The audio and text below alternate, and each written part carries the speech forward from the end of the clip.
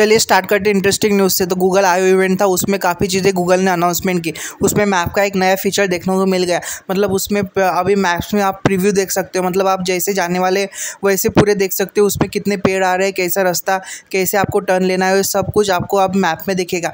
तो बात करें अगली न्यूज़ की तो व्हाट्सअप में स्कैम बहुत हो रहे हैं। मतलब अननोन नंबर से कॉल आ रहे हैं। जब भी लोग उतारते उस पर स्कैम हो जाता है। इसके कारण से आप अननोन नंबर से जब कॉल आए, उसको उठाइए मत।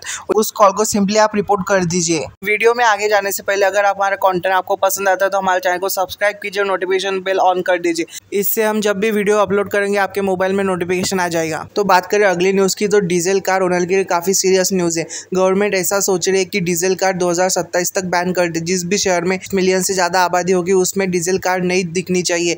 ऐसा गवर्नमेंट ने अनाउंसमेंट तो नहीं की है पर गवर्नमेंट ऐसा सोच रही है। तो बात करें अगली न्यूज़ की तो इस बार आईपीएल का स्ट्रीमिंग जियो सिनेमा पर हो रहा है। इसके कारण से डिजनी प्लस हॉटस्टार ने 4.6 मिलियन यूज़र अपने खो दिए मतलब काफ़ी हेवी लॉस हो रहा है डिजनी प्लस हॉटस्टार को।